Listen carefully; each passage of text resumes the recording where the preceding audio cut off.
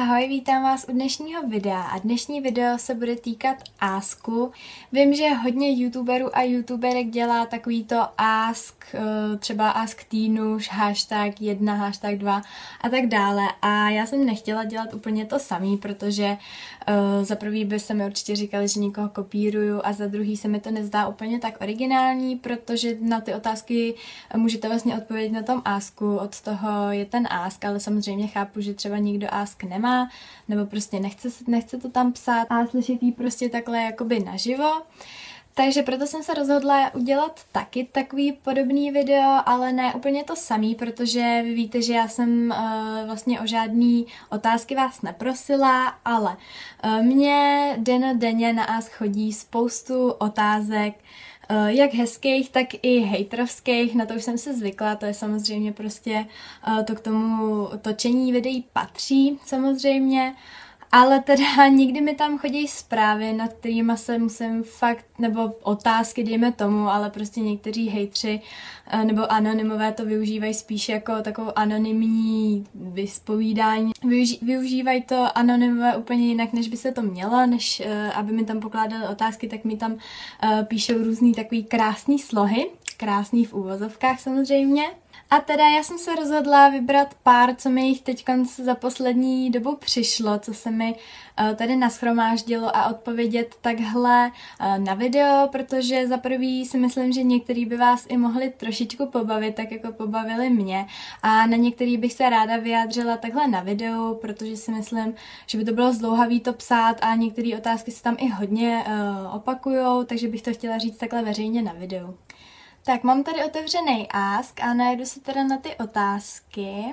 Takže mám tady první otázku, který jsem se teda fakt jako musela zasmát. A budu vám to teda rovnou číst. Uvidím, jestli se mi to podaří vložit to vlastně do videa nějakou fotku, abyste mi věřili, že si to nevymýšlím, ale že fakt mi to tam někdo píše, že prostě někdo takovýhle věci může vymyslet.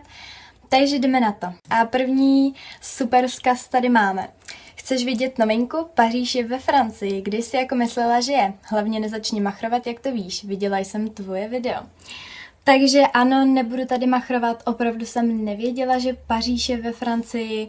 Eh, byla jsem v Paříži a vážně jsem si nevšimla, že jsem ve Francii. Fakt moc děkuji za tuhle novou informaci.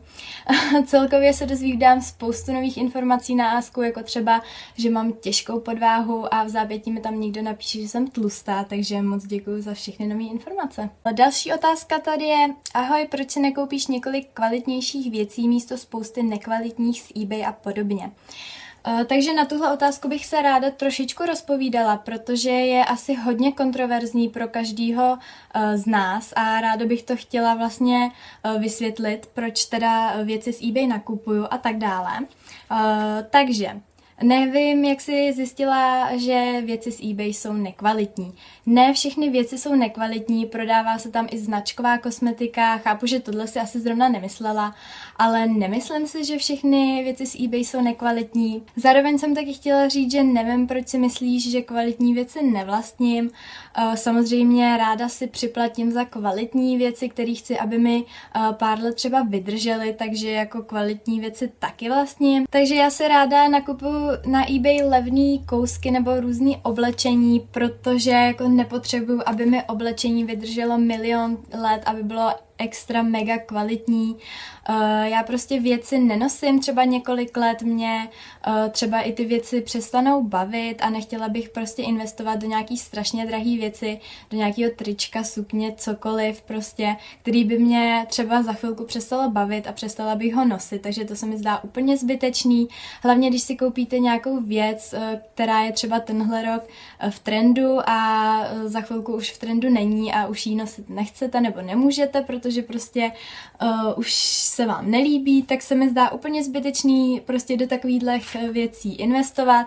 Samozřejmě neříkám, že je špatný investovat do kvalitních kousků. I já investuju do, do kvalitních kousků, i já si ráda připlatím, ale ne do takových kousků, který eh, o kterých vím, že mi prostě nevydrží dlouho. No a jako poslední bych chtěla říct, že stejně většina věcí je made in China.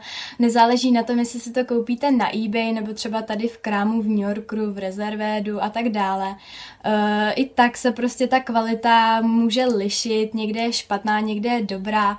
Nezáleží na tom, jestli nakupujete na eBay nebo prostě v krámě. Uh, já nevím, proč jsou takovýhle předsudky o tom eBay. Myslím si, že to psal někdo, kdo na tom eBay nenakupuje nebo nikdy nenakupoval ani, protože kdyby nakupoval, tak určitě ví, uh, jak to tam chodí a že ty věci nej- nemusí být zákonitě nekvalitní. Další otázka, ta mě teda hodně zaujala. A, to je, proč se pořád tak maluješ a kupuješ si nový oblečení, když máš kluka? Proč to máš zapotřebí, když jsi zadaná? Já nevím, jak vy holky, jestli když máte kluka a jste zadaná, jestli jako se přestanete malovat, začnete chodit v tom stejném oblečení a přestanete si kupovat oblečení, ale já to tak teda rozhodně nemám a nevidím důvod, proč bych to tak měla mít. Uh, za prvý já se nemaluju ani nekupuju si oblečení pro toho svýho kluka, ani pro ty ostatní, že bych jako potřebovala zbalit kluka na to, že se budu jako malovat a že si budu kupovat nový oblečení, to vážně jako ne a zdá se mi to úplně absurdní tenhle ten názor. Uh, Uh, já to prostě dělám pro sebe, maluju se, protože mě to baví, kupuju si nový oblečení, protože miluju oblečení a protože prostě mě to baví, baví mě móda, ale vůbec to nedělám kvůli tomu, že bych byla zadaná nebo že bych potřebovala ulovit nějakýho kluka. To se mi zdá fakt jako úplně hrozně divný. Máme tu další otázku. Uh, všude ve videích je všechno děsně originální, přitom kopíruješ ostatní holky, jako to dělají skoro všichni. Takže tomuhle se říká mainstream. Uh, vy sami si píšete o to, abych natočila, jak skladuju kosmetiku, my morning routine, uh, room tour a tak dále. I když to točilo spoustu ostatních youtuberek a už to točili prostě fakt jako hodně youtuberek a je to známý a je to skoro u všech, tak prostě i vy sami si o to píšete. Uh, ale mně se tenhle ten, nebo tahle ta zpráva prostě zdá už taková, když ten hater neví, co by vám napsal, tak prostě napíše tohle, kopíruješ videa, prostě máš to skopírovaný tamhle a tamhle. To je úplně prostě taková ta klasická hejtrovská nadávka, nadávka v úvozovkách, protože jako tomuhle se můžete tak maximálně zasmát. Já si myslím, že každý do toho videa dá svoji duši, svoji povahu a prostě udělá to po svým, takže myslím si, že to je kopírování. Eh, říká se tomu inspirace, inspirujete se třeba na téma videa, jako já jsem se teď inspirovala na Ask, tak prostě já, já se to prostě snažím dělat jinak, ale samozřejmě to nejde. Uh, už tady bylo spoustu toho vymyšleného. Takže jako dejte mi vědět vy, jestli si myslíte, že jako já někoho kopíruju, ale teda nevím. Na další otázku jsem sice už odpovídala, ale chtěla bych ji tady zmínit, protože se to celkem dost na Ásku řešilo. Tuším, že mi tam psal jeden a ten samý člověk a furt to, e, tohle téma rozebíral a šťouchal do něj, takže bych to chtěla zveřejnit takhle veřejně, abyste řekli i svůj názor, protože by mě určitě zajímal. Z vaší školy lidi odchází, protože to nezvládají, tak to musíš být opravdu z hloupého kraje, když tam lidi nezvládají ulejvací školu, jako je obchodka. Takže tady se rozebíralo téma, že já chodím na obchodku a jestli je obchodka těžká a tak dále a já jsem psala, že musí jako lidi posoudit sami, že to je individuální na každém člověku, jestli mu, se mu určitá škola zdá těžká nebo ne. Ale psala jsem jako tak pro porovnání, že prostě odchází spoustu lidí z druháků, eh, že prostě tu školu nezvládají a že si mysleli, že ta škola bude lehčí a dostala jsem na to takovouhle odpověď. Takže já bych chtěla znát váš názor, eh, kde třeba chodíte na obchodku, nemusíte být samozřejmě v Liberci, ale na jakoukoliv obchodku, jestli si myslíte, že to je ulejvací škola.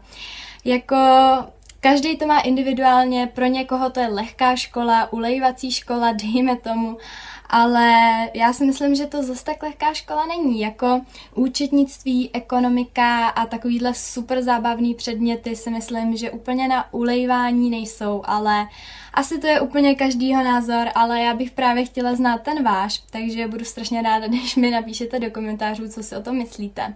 A to by teda bylo pro dnešní video všechno. Dejte mi vědět, jestli se vám tenhle typ videí otázek z Asku líbil.